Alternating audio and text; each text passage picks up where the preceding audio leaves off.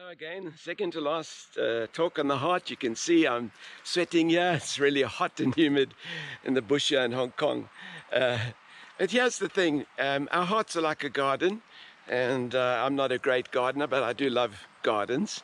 And you know, you have to, there's a law of uh, second thermodynamics, the law of atrophy, unless an outside energy is engaged in keeping order everything in this planet, because of the fall of Adam, tends to move back to chaos or disorder or disintegration. That's just a scientific law.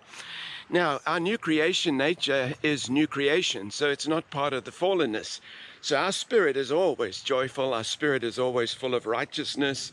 But you see, our spirit has to work through our heart, which and our, our soul and our spirit come together.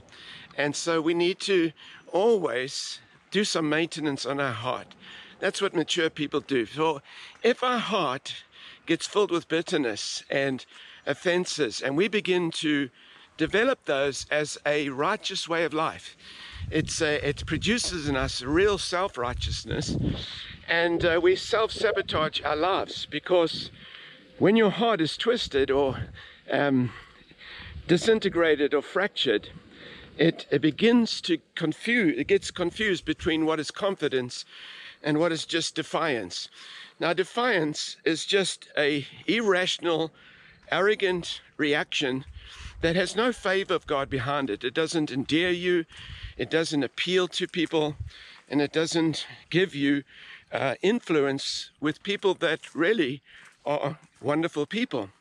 And eventually you begin to club with or connect with people that just have defiant hearts. And when you do that, what you do, sadly, and you don't have to do that, of course, is we shrink our world into that distorted group whose lenses on life have become so defined by a shrunken heart or a fragmented heart. And there's really, really no favor of God behind that that's governing that and, and precipitating you into the blessing of God and the favor of God.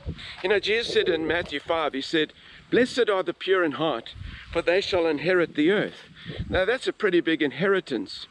And I believe that's so because God spoke to Abraham and gave Abraham a revelation of the love of God, the goodness of God, and the favor of God. And Abraham believed what God was saying, that God is good. And God said, Okay, you believe I'm good. Your faith, I credit you as a righteous man. And Abraham made some mistakes and really did some wrong things. But God continued to bless him because Abraham's heart believed that God's good. And what you see then is that God promotes Abraham and says, I will bless you and make you a blessing, and you will be a blessing to all nations.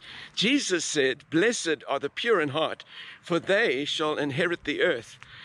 You know, there's something about being summoned to ever expanding horizons of favor and influence and fruitfulness where you can bring the aroma of Christ.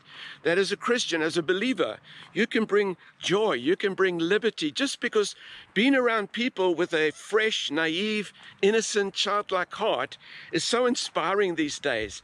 And all of you that are listening to this, you can process into the purest of purest of hearts and be an influence across nations and in your neighborhood. So love you and I'll bring one more talk and that'll be it. Bless you. Thank you for listening.